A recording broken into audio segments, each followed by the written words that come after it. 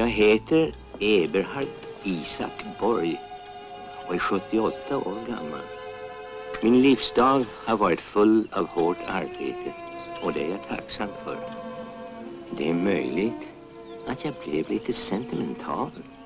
Det är inte otroligt att jag kom att tänka på ett eller annat som varit förknippat med barndomens lekplatser.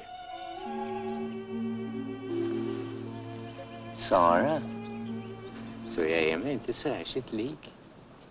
Men du, du har inte ändrat dig det allra minsta.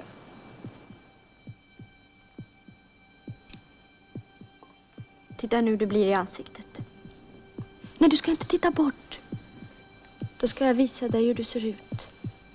Du är en gammal ängslig gubbe som snart ska dö. Jag kan inte tänka mig något värre än att bli gammal. Oh, förlåt.